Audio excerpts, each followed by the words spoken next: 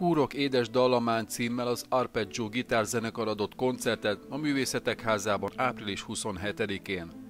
Az önálló est első részében a kis gitárzenekar örvendeztette meg a közönséget néhány zenemű előadásával, majd a Metzger vonós négyessel és fúvósokkal is kiegészült gitárzenekar lépett a színpadra.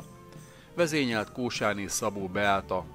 Az esten részt vett lengyel testvérvárosunk Zsivjecs küldöttsége is.